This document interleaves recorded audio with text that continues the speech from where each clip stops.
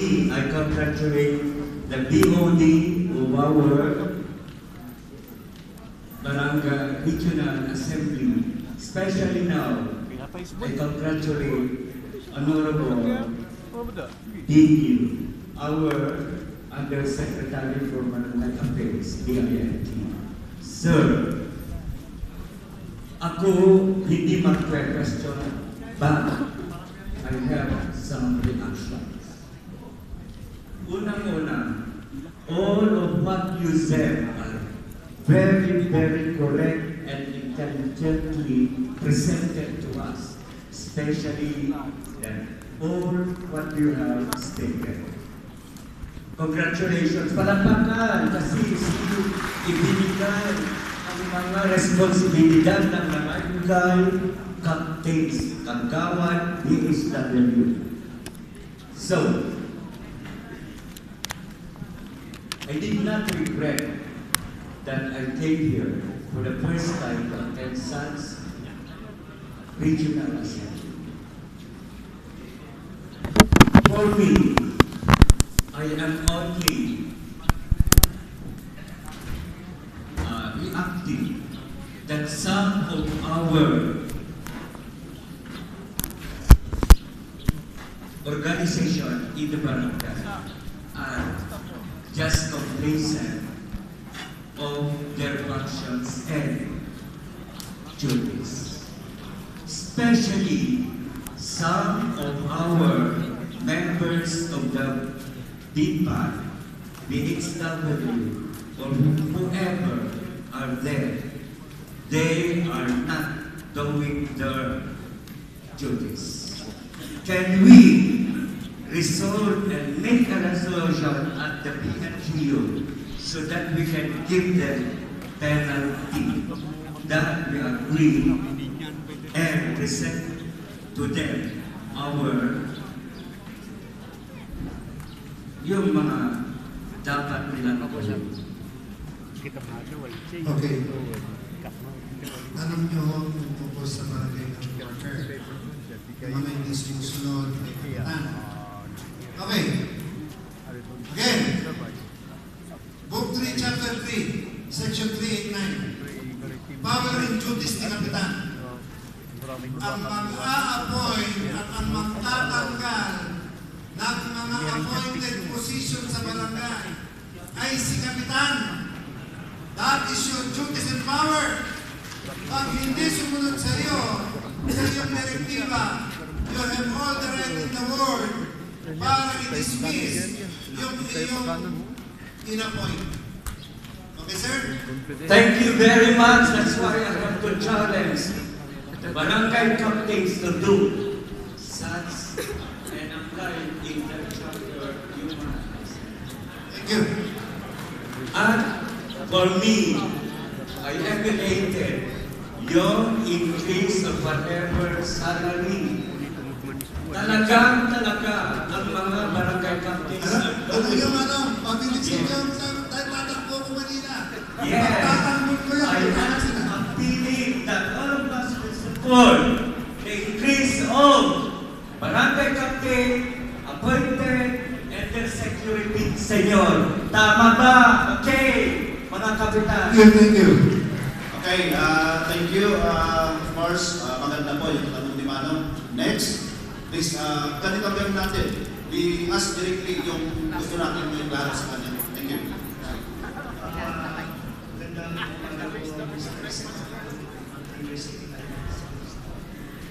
Ako ay nagano na kayo. Ang gusto ko lang po eh, lamang po eh, inyong pinagtibay ang ah, pagpapaliban ng eleksyon. Ngayon po sa aming barangay, hanggang ngayon po ay wala pang nakaupong SK chairman. Ah, eh, magkakaroon po ng postponement, ibig pong sabihin, Ah, patuloy po na walang uupo bilang SK chairman sa aming barangay. Let me know. Sulatan mo ako sa opisina. And uh, we will make sure na uh, yung uh, tinatanong mo within 72 hours, tatanungin ko legal, ever na pwede mag-appoint, kahit na kukunin Maraming po salamat. Ah, pangalawa po, kung pwede po sana, iirin po po ako ng isang tanong. Kung pwede po ba na ang Chief Executive ng local government ay habang po ay kami ay naghihintay sa mga nakarta ng barangays, kung pwede po ba siyang magbigay ng kaunting pondo para sa augmentation ng compensation para sa aming mga barangay tanods. Kasi po, ang aming barangay po, barangay tanods po eh 500 lang po ang compensation na nila buwan-buwan. Tinatalakay din ho namin ngayon kung paano bibigyan ng national government ang ating mga barangay tanong ay especially in the province. Barangay tanong Dupon at saka barangay Recorder. Now, dun sa inyo, kung gusto nyo madagdagan yan, kung meron kayong availability of fund, sulatan nyo ako para uh, padaga ako ng tigang at pagka kung ano yung diskarte na pwedeng gawin, I will let you. Maraming salamat. Yan. Thank you. Ah, saan yung pangatlo? But anyway, before, ah, sige, sige po, si Madam. Gusto ko lang dagdagan yung sabi ni Yosek doon sa Availability Fund. Correct. Ah, pwede kayong gagawa ng resolution, Liga, isapin yun sa Municipal Council, asking the ah, City Council, ah, Municipal Council, and Executive na kung may pera na available, pwede naman na ibigay yan. Actually, the City of Baguio, ah, yun po ang pinag- pinaglalabanan ng extra. May kagkaroon kaming barangay aid na binibigay coming from the city. So, next please. Uh, Good morning, sir. Uh, Thank you for being being with us today. Uh, Regarding po sa sweldo na nabanggit nyo kanina ng mga barangay officials, um, ang ang pag-compute ng sa, uh, salary or honorarium rather ng, ng mga barangay officials is based in uh, the 50% of our era. Madam, katina kita. Bakit? ha? 55%. Hindi, katina kita. Yes. Bakit kaya ba ng boto nyo? Kaya hindi nga po, sir. Ano na ano sinabi ko kanina? You will be considered as government official. Ah, Ang pinag-uusapan natin to, national. Ah, okay. Okay. So, thank you. And may, ah, ano, umabot po na question kanina na kailan daw po mapasa yung bill. Kung hindi nyo ako papabalikin ng Manila ngayon, walang magtatanggol dahil nag-ano na ang Senado. Kaya kailangan makabalik ako ng Manila. Okay, sir. Lastly, lastly, sir, ano daw po yung action na dapat gagawin ng kapitan if yung SK chairman is not attending the session? Okay, ganito ha. Ah, mandated yan. Bigyan nyo ng ano, bigyan nyo ng ah, invitation. Kailangan meron kayong agenda. Alam niyo ba na pwede ipagkalagkat ni Kapitan ang kagawad at saka SK just to attend meeting? Basahin niyo local government code. Tignan niyo yung IRR na pwedeng tumawag ng pulis si Kapitan para ipakuha kung sino man yung mga barangay official para manila sesyon. Now, kung hindi siya attend ng sesyon, hindi mo bibigyan ng barangay. Thank you, sir. Ayun, klaro-klaro. Ah, yung dalawa, saan yung dalawa? Si Manong at saka yung isa, yung last. Ano, ano na? Sige, go ahead, go ahead, go ahead. Sige, go ahead. Meron ba kasama after ni Manong? Good morning, sir. Uh, sir, thank you very much for what you have uh, said a while ago regarding uh, the Cordillera Autonomous Region. But I'm questioning, sir, that uh, down to the barangay sana, there should be massive uh, IEC to for the speakers to discuss what is contained in the EO 220, sir. Kaya nga po, kaya meron kayo ngayong assembly. Tandaan nyo, ang pinakamataas na assemblea sa buong Pilipinas is the Barangay Assembly.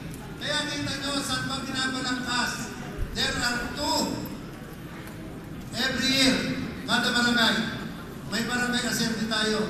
Kaya kayo dito sa Cordillera, meron din kayo na barangay assembly ng Abra, Kalinga, Apayao. at mag-emanate ang gusto nyong mangyari down to the grassroots level. Kaya ngayon, kayo pwedeng gumawa ng mga resolusyon. Then, address to the President. Huwag nyo nang hintayin ang mayor nyo. Huwag hintayin yung governor. Huwag hintayin yung hintayin mga ah, congressman. On your own. Kayo ang tao ng Cordillera, ang barangay. Bigyan nyo lang silang kopya. Bigyan yung, bigyan yung kopya ang mayor nyo. Bigyan yung kopya ang ah, congressman nyo. Dahil ang tagal nyo ng 32 years na kayo naghintay. Pakita nyo sa kanila na hindi na pwedeng maghintay ang mamamayan ng Cordillera. At ang mag-uumpisa nito ay ang barangay sa Cordillera. Yun po ano. Thank you, sir. Last question, sir. Uh, Can the barangay captain point a barangay administrator? Correct. Sabi ko nga sa inyo kanina. Basta meron kayong, meron kayong um, available fund, pwede kayong mag-create ng posisyon. Basta may. And the appointing authority is the barangay captain with the concurrence of barangay council. Okay? Uh, Thank you very much, sir. Okay, last question. Uh, si Madam. Okay. Uh, Good morning to everyone, everybody. I'm Kagawad Kapuyan from the province of Tarlac. I have only one question, sir. As a barangay official, do you have the right to reject uh, projects that are implemented in our barangay without informing us, sir? No. Lalong-lalo na pagka ang ah, pondo ay galing sa nasyonal. Tandaan nyo, babalikan natin ang local government code. Tigilan na natin ang pamumulitika. Pagka mayroong proyekto para sa barangay ninyo, tanggapin nyo. Hindi para kay kaganan yan. Hindi para kay kagawad yan. Tandaan nyo yan. Basahin natin ulit. Book 3, Chapter 3, Section 389 power, duties, function ng punong barangay for the efficient and effective delivery of service. Ang uunahin ni Kapitan ay ang general welfare ng kanyang barangay, constituent, inhabitant, hindi ang kapritsyo ni Kapitan at kapritsyo ng kagawad. Ang pera na yan ay hindi para sa inyo, kung hindi para sa constituent ninyo. Kesyo nang galing yan kay congressman, kay mayor, kay governor, tanggapin nyo pag para sa barangay nyo. Tigilan na natin ang mamumulitika dito. Pagkalaban si congressman, kalaban si mayor, nagbaba ng proyekto, ayaw tanggapin. Sumbong nyo sa akin. Pagka nakarating sa akin yan, tandaan nyo to. Thank you, thank you, sir, for your very nice uh, explanation. Correct, hindi. Ito na nga. Pag may gumawa niya, susunod mo sa akin. Kakasuhan ko siya ng dereliction of duty or grave abuse of authority. Actually, in addition lang sa amin ni Jose, yung question ni Ma'am. Uh, as long as kung halimbawa ay project ng national or uh, city or uh, i-coordinate lang sa barangay. It should actually uh, complement yung barangay development council uh, EIP ninyo. Dapat kasama doon. So, we will come back then as long as kasama sa... Kasi mayroong mga, mga ngayon, nakuha nito, magbababa kami ng proyekto galing sa national. So hindi kasama sa ano yun, sa... AIP. Kasi ano yan, biglaan yan. Biglaan, biglaan namin ibababa eh. Kasi ngayon, kamukha nito, 4 piece. Papangulit namin yan. Kasi ang 4 piece, mga mayor ang nagbigay this time, i-empower namin ang barangay. Pati yung mga pangalan. Tandaan, that's good. Kaya, lang yun na nga, ah, tandaan nyo to, maraming proyekto ngayon na from national, ibababa namin sa barangay. Kaya magugulan kayo na hindi kasama, direkta na hindi kasama sa ano, sa uh, sinabit ninyo, Si Mayor o kaya si Gobernador pagkakaroon na. eh, national yan galing, walang barangay ang pinag-uusapan natin. ah. So, yun lang po, okay? Okay. Kung, kung wala na, salamat. Teka sir, ah, hindi, yung mga may questions, ilis tayo lang. Kasi talaga nga si ako, Joseph, nag-ayos ako relasyon. At niya, So, uh, may I request members of the board to please come up and we will give the uh, token. And when we are giving the token, aksaka na kayo man for uh, uh, six groups of picture taking. So, unahin natin siguro mag-aksaka na kayo. Siguro mo natin Abra. So, Abra, prepare kayo after we the